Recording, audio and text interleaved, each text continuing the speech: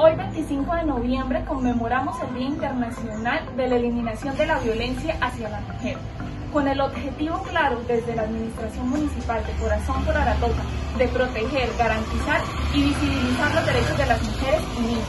Por eso, yo me uno a eliminar la violencia sexual contra las mujeres y las niñas. Yo me uno para eliminar la violencia contra las mujeres y niñas dentro de los hogares.